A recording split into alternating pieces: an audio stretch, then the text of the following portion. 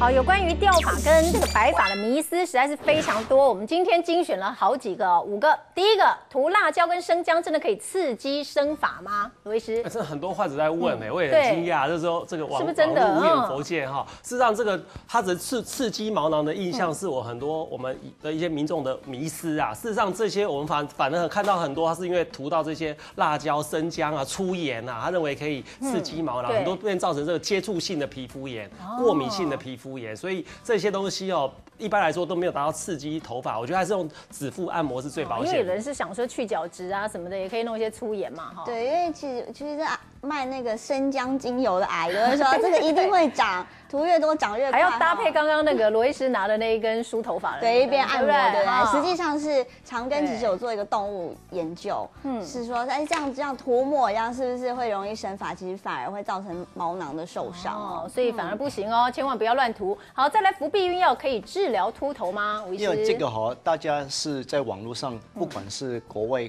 国内国外都很多人在讲，嗯，因为我们讲到掉头发就是跟男性荷尔蒙有关，对，所以男性荷尔蒙，那我用一个女性荷尔蒙来对抗它，是不是有效？哎，听起来应该有效啊，应该理论上好像有效。那避孕药就是女性荷尔蒙，对啊，那直接吃用来治条治秃头，我是没有听过，但是国外是有人用什么呢？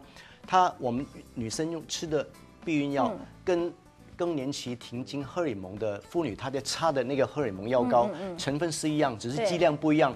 这个是这个就一份，这个十份，避孕药是它的十份的量很大，他就用那个荷尔蒙的药膏直接插在秃头的部位，就是女性荷尔蒙来对抗男性荷尔蒙，结果插到后面到最后是怎么样呢？因为它是女性荷尔蒙，结果它的乳房男生又变大了，就是男男性女乳化了，所以头发是没有长，头发也没长出来，这个这个这个副作用就出来，所以这些哈是有它的根据，但是实际上刚才我提到掉头发。雄性秃，我们只知道跟遗传有关，实实际上很多还我们等一下，等一下，吴医师，那如果女生可不可以这样？女生如果她有掉头发问题，让她擦了，然后胸部也变大，刚刚好。对，女生本来她男性荷尔蒙就相对比较低，她本身女性荷尔蒙高啊，她高都挡不住了，你这擦也没有用啊，她的高都挡不住，她还是要掉啊。所以这个东西治疗上面是没有效，但是很多人有这样迷失，因为他想到荷尔蒙，我就用女的荷尔蒙来对抗它，有没有效？啊？做了就没效，而且所以也没有效果就对了啦。哈，好，再来，女生哺乳可以降低秃头的风险吗？这个也是比较没有科学根据的啦。很多人会说，哎，妈妈一定要哺乳啊。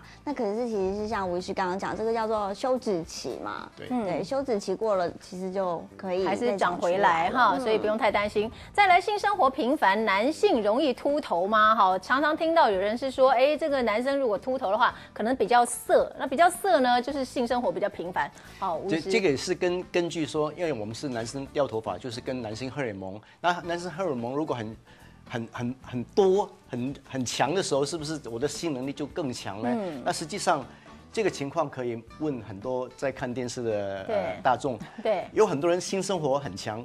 他没有头发还是很多很多啊，所以这个其实不用去问他，对，所以很多人头发很少，性生活也不频繁，没有这个根据的。哦，所以完全没根据。罗医师，你有听过吗？这个没有哎，临临床上很多患者他说这个肾肾，就是说他容易累啦，对呀，可是肾气啊，对啊，可是他头发还是很很很茂密哎，因为他没有肾肾相关啊。很多患者还补肾啊，我发现他头发还蛮这个茂密的，头发发质也很亮丽啊。因为从中医的角度来看，您刚刚讲说肾气嘛，所以有些人会讲说啊，是不是这个性生活频繁啊，可能用太多或怎么样，然后肾气不足啊，所以掉头发。跟大家讲，我们中医强调肾哦，不是肾脏发炎的肾脏的发炎的肾，它也不是说这个一定是强调性功能这一块，它反而很强调是你身体的机能的状况是属于老化呢，属于一些呃属于五脏六腑的功能的低下。反而都跟大家比较在意的那个补肾壮阳，并没有正什么正相关的一些关系啊。好，所以这也是无稽之谈啦。性生活频繁，男性易秃头，并不是这样。好，另外呢，还有人说他常常倒立，所以他白头发可以变成黑头发。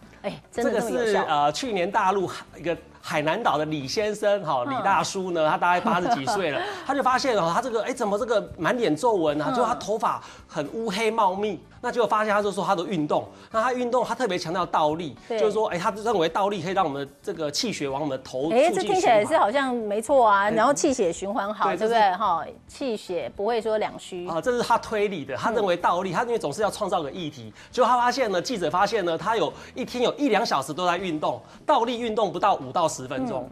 他的他的倒立不到五到十分，他可是他有将近两小时。譬如说在呃跑步啦，譬如说在仰卧起坐啦，还有来回的这个来回跑步，是它它的运动是来自于下肢的锻炼，而不是是是属于这种倒立运动。所以重点并不是因为它倒立所以白头发变黑头发，而是因为它运动的关系。对，所以尤其是有心血管疾病的，你特别不能有倒立的这个动作，会让我们的脑部的这个这个快速的充血。好，所以很多都是迷失了。好，那最后简单的，我们请吴医师来提醒大家好不好？如果说担心掉发、担心白头发的话，要注意什么？白头发，嗯，掉头发。啊，掉头发，实际上好啊，第一个你要知道你有没有家庭的历史。比如说，一般我们雄性秃掉头发，大部分就是看得到爸爸妈妈、叔叔、爷爷、舅舅和兄弟有掉头发这种迹象。